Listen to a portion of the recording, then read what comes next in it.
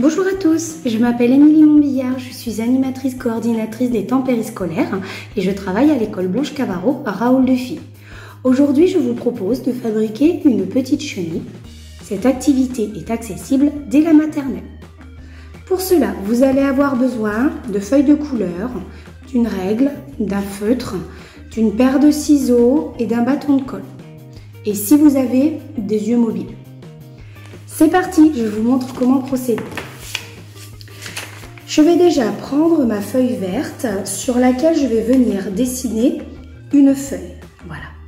Donc je vais la mettre de côté pour le moment et je vais prendre mes deux autres feuilles de couleur. Je vais utiliser une règle pour faire des traits. c'est pas très grave euh, s'ils sont pas très droits. L'important c'est juste d'avoir un repère pour pouvoir utiliser les ciseaux. je vais faire quelques lignes comme celle-ci. Je vais faire pareil. Voilà. Donc, je vais venir découper mes petites bandes de papier pour que je suis bien montrée.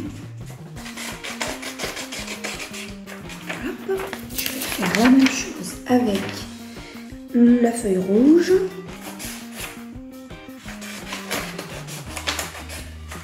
Et voilà. Je vais reprendre ma feuille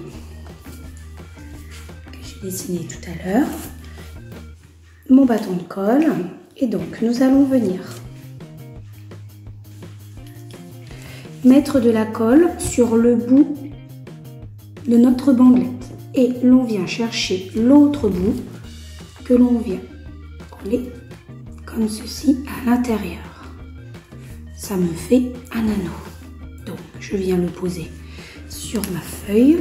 Donc je vais faire une fois vert, une fois rouge, une fois jaune. Donc je recommence, je mets un petit peu de colle, je prends l'autre bout et je viens le coller par-dessus. Je viens me poser derrière.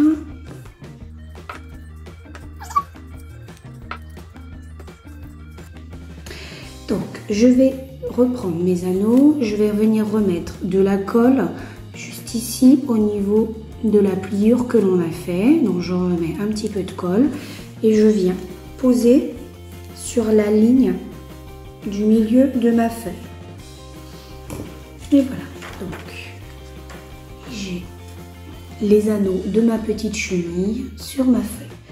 Donc je vais faire une tête ici, donc je vais réutiliser le bout de papier jaune qui me reste. Donc je viens y faire un rond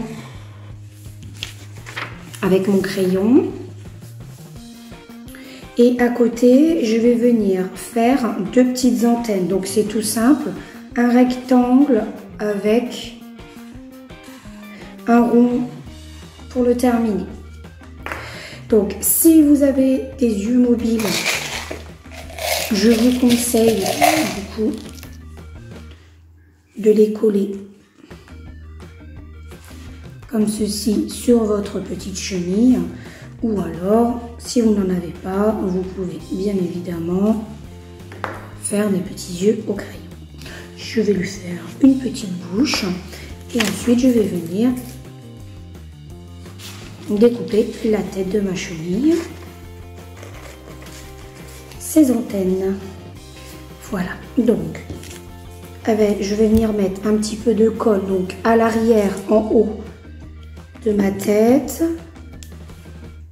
Et je viens coller ma petite antenne dessus donc pareil de l'autre côté.